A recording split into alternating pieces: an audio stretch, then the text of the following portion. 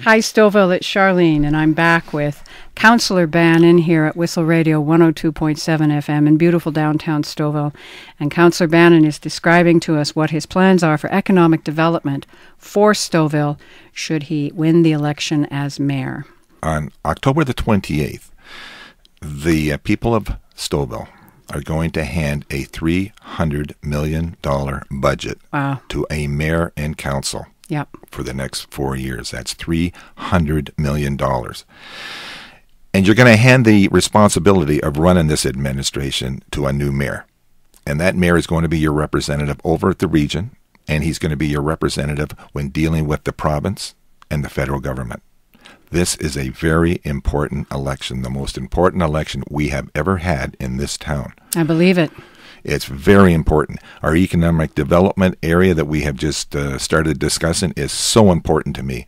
So important that I can reduce taxes, reduce the tax burden for residential taxes in this town, uh, increased industrial growth, attract new business to this town, not in the downtown sector, but out in the corridor where businesses want to be.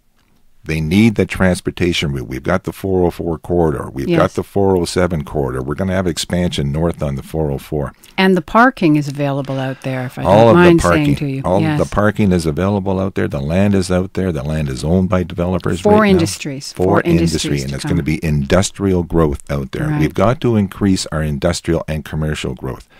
In town, we've got to support our small business. Yes. Nobody supports small business that, more than I do. As as I you know. know, my wife uh, is a, has a small business in town as well. Yes. And you know what? We work very hard at keeping that business alive. And and for me, it's it's a matter of reaching out to the uh, small business owners in town, as the mayor, and working together and supporting their efforts, advertising, promoting, and marketing small business in this town, using the mayor's um, position, the mayor's position, and and those of uh, the councilors in town who will be joining me, uh, visiting, promoting, and marketing small business in town on a regular basis. Each month. Again, I'm saying to you, we will be featuring a business, visiting a business, and offering the opportunity for people to come down and speak with me and speak with members of council, discuss issues that are important to you, and that's and the off weeks between you and I when we have our regular conversations, our regular correct. meetings here That's on right. radio Absolutely. and and we'll be promoting this business to make Yes. sure that we can reduce the tax burden so that we can we can clean up the town we can provide services in the downtown area that people want and people need this town is still growing Yes. people love this town they Yes. love what we're doing they love what they see that we're doing we as a council have been together for 11 years now the majority of us and and people are very happy with what they've seen. We're down to a small bucket list now of things that we have to do, and it's basically infrastructure. We have to we have to we have to fix roads. We have to Yes. rebuild sidewalks and curbs, and mm-hmm. we have to keep building leisure services facilities and providing programs for families, for the young families in this town. But we've also got to provide transit for them to get to these these programs and these facilities. We need connectivity in this town. These young families want to come out of their homes. They want to be part of this what what I'm what I am advertising and promoting to people, the family life in Stouffville. I will keep this town small family life. As you're aware, I've been running the Winter Carnival now for 11 years. Great job, a great job you've done, and it draws two thousand people uh, regularly. I can hardly imagine that up in Cedar Beach. It's incredible. What a great opportunity for families to get together for four or five hours a day.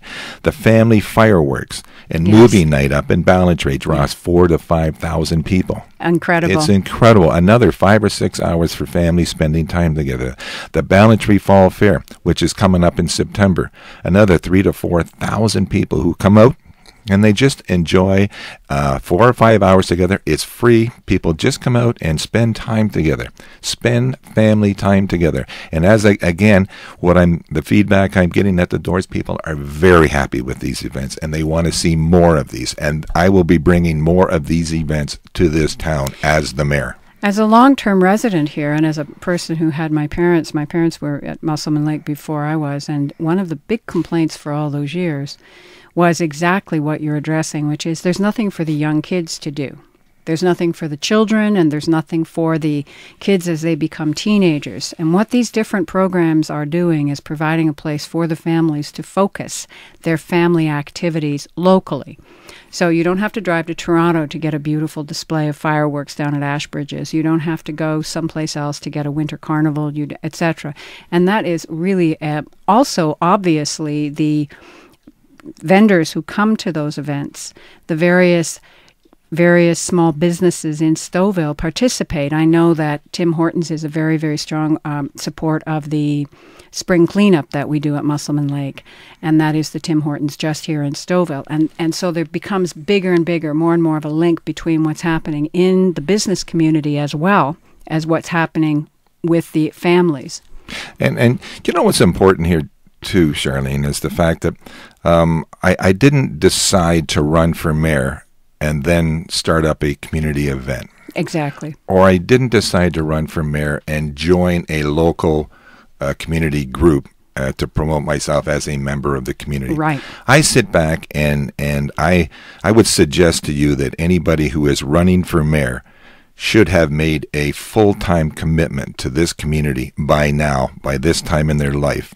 If they think they want to run this town as the mayor, they should be committed to running community events, to being part of the social programming and family programming in this town. Absolutely. And we should be seeing that in all of the candidates who are running for mayor and council. Well, quite frankly, I believe you've raised the bar in, in that particular direction because you have created those experiences over the past 11 years. And as everyone knows now, I am a resident of your ward, and that's why I am promoting you so fully on this program because I have seen what you have actually done. I'm also aware, and we must be realistic, that not everybody agrees with everything that gets done by anybody at any given time of the day. However, in terms of the overview and what you've actually accomplished with these various festivities and the various focus that you've had to bring together community. Community.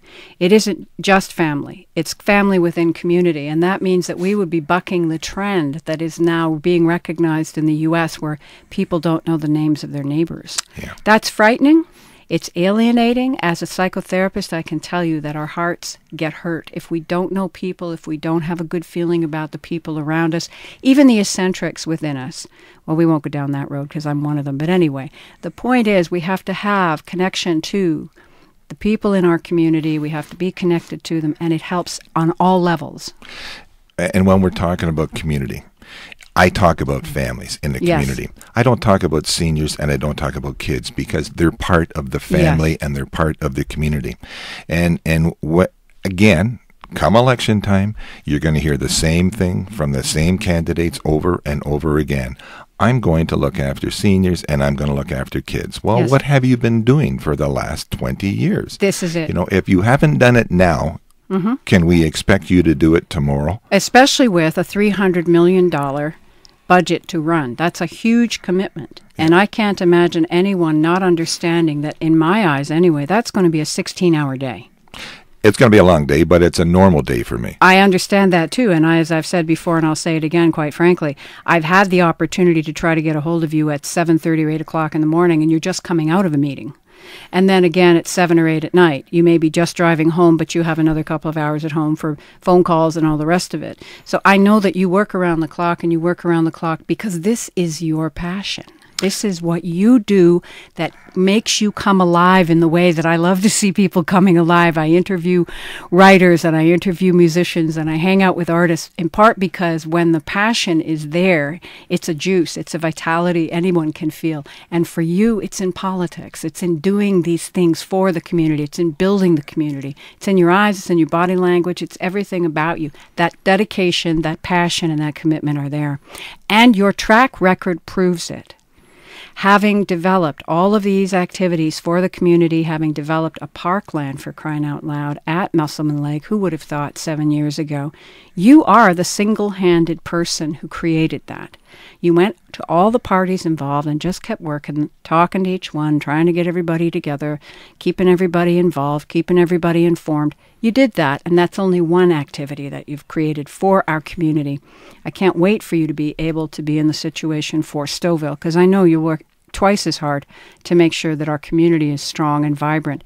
As you mentioned before, we are the smallest taker at the table in the region. And that means we need somebody who knows the community, knows how to build a community, and you're the man for the job. You're going to be sitting at a table with the mayor of Markham, the mayor of Vaughan, Richmond Hill, Newmarket, Aurora, King.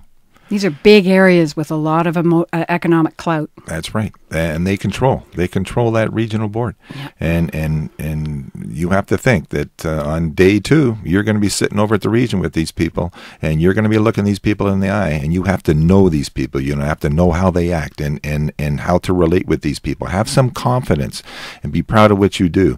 I know all these people. I've been working with these people now for 11, 12 years. You've been I on the regional board as well, have you not? So you sit back Yes. and the time that I've spent with these mayors, the time that I've spent with these regional councillors, the time that I've spent with the MPP, the time that I've spent with the MP, these are important times in our lives, in the life of Stouffville, to have these long-standing, established relationships with these people Exactly. who are going to share in the growth of this town. and because it's the growth of the region. So you have covered to some degree the economic development, and I'm just absolutely delighted with the idea that people like the Love of Joe or people like Charlotte Caves, Cheek Thrills, and and the girls, any of the small businesses on Stouffville are going to be given a spotlight for a month in which everybody can flock to that particular location, know they're going to get a little bit of a treat, they're going to be able to hear more about why this is important, what's going on, and, and also to see whatever kind of creativity the owners of the businesses can come up with to display who they are to us. That not only is that important, but uh, as as you've seen with the uh, the improvements in the downtown area, we talked about accessibility issues at, Yes. our, at our last meeting.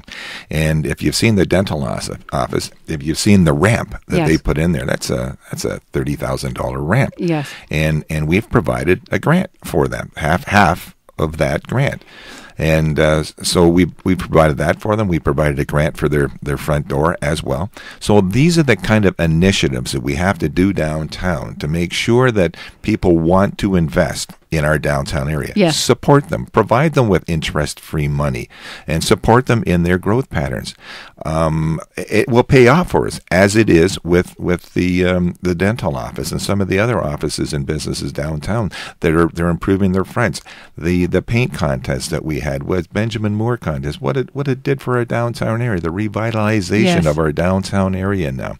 There are actually businesses that, that did not call us back and want to participate in that program. That's fine. Yes. That's fine. We can move on from that. Yes. But you know what?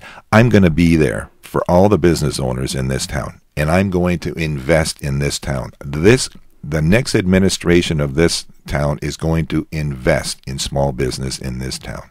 Great news. All of the points are being, all the boxes are being ticked off here. We've got the economic development through increasing industrial uh, commitment to our area and having them pay the share of the taxes. We've got it. That means a decrease to the individuals. We've got the idea of promoting extensively with your vision. It's an actual vision that you have. And we know that because of your past, you will fulfill that vision. That is what will happen. Councillor Bannon, it's been a pleasure as always. I look forward to one more. It's been gone so quickly. It'll be our last one, but it will be great. We'll have another talk with you next month. And thank you so much for being here. Charlene, thank you so much for taking the time to uh, spend this time with me. Okay, Stouffville, that's it for today's program. Thanks to Gary Burke for all his wonderful tech wizardry, and to Joe Burton for the wonderful intro and extra music. I'm very grateful for the opportunity, Stouffville, to be able to do this uh, through Whistle Radio 102.7 FM. It's a great town we live in. Give a little prayer of gratitude for everything and be kind to each other. Bye for now.